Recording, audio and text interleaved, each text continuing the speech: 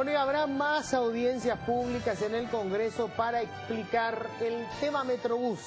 Ya nos va a contar Susana Arevalo los detalles. Esto, Susi.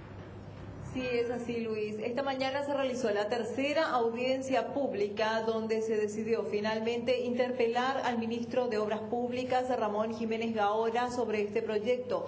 El punto principal que cuestionan los legisladores es que el proyecto original se había aprobado como para que el Metrobús sea eléctrico. Sin embargo, la licitación se hizo como para que sea a combustible, a diésel nuevamente. Y eso van a cuestionarle al ministro. Además, ¿cómo están definiendo las franjas de dominio de tal manera a no afectar a los frentistas más allá del terreno que les corresponde, eh, evidentemente. los municipios involucrados deben estar eh, acorde con este trabajo emprendido desde el Ministerio de Obras Públicas y Comunicaciones y, por supuesto, el compromiso de que los tramos se realicen en tiempo y forma. Cuatro meses es lo que debe durar cada tramo. Más de ese tiempo no. Si se termina en ese tiempo, no se va a indemnizar a ningún afectado, a ningún frentista, a ningún comerciante, pero si pasa ese tiempo, sí se tiene que pensar en una indemnización.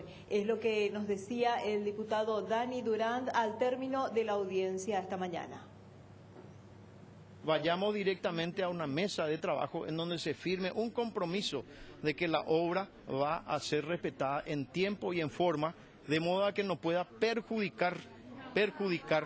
Está previsto que cuatro meses dure en cada tramo importante. Bueno, esa es la situación. Hoy también los empresarios del transporte ya decían de que hasta el momento no nos citaron para ver cómo se va a reemplazar el servicio que hoy están brindando y que supone obviamente que varias empresas tienen un itinerario que ya no van a tener.